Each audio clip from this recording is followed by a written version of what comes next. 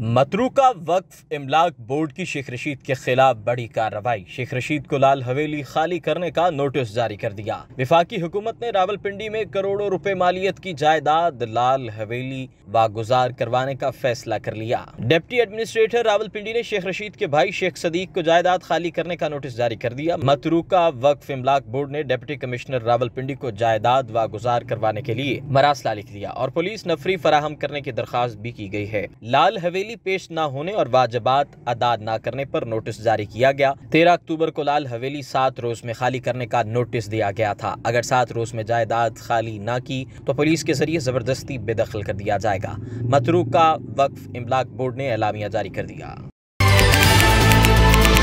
क्योंकि खबरों को अब चलने दो।